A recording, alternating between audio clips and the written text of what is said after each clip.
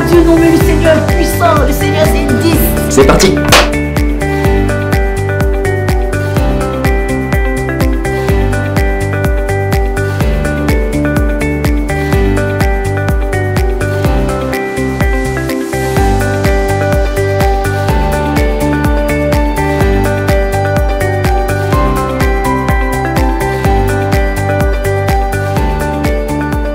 Chacun est disciple que nous sommes. C'est de dire tous les jours au Seigneur merci.